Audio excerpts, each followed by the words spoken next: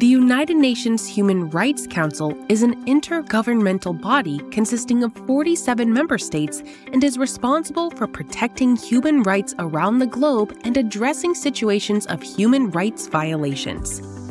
Since its inception in 2006, the Council has convened 51 times in its headquarters in Geneva, Switzerland. Each regular session follows an order of the day which consists of 10 agenda items. Out of the 10 agenda items, one is always related to a country based situation.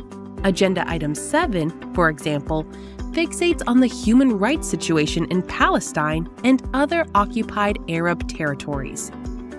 This agenda item, which is discussed every regular session and focuses on the impact of the Israeli occupation, singles out Israel from every other country in the world. This preoccupation with Israel has led to 81 out of 201 country specific UNHRC resolutions aimed at condemning Israel, demonstrating a clear disproportionality in the way Israel is treated in comparison to other countries which are guilty of major human rights abuses.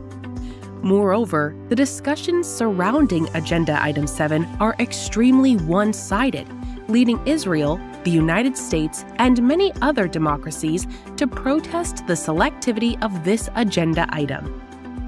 The bias of Agenda Item 7 obliges us to take a closer look at the principles and values that are meant to guide the UNHRC impartiality, objectivity, accountability, and non selectivity.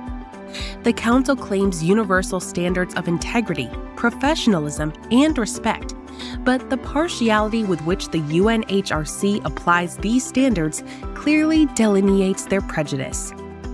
The Human Rights Council must be concerned with advocating for the general observance of human rights, not the systematic denunciation of a single country.